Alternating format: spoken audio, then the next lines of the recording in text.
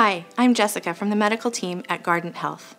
If you've been diagnosed with early stage cancer and have completed surgery, the thought of cancer may bring anxiety and questions. Two of them being Is there any cancer remaining in my body after surgery? Or Has my cancer returned? Guardant Reveal is a blood test that can be drawn at multiple time points to help answer both of these questions by determining if there are any remaining cancer cells, or MRD, in your body.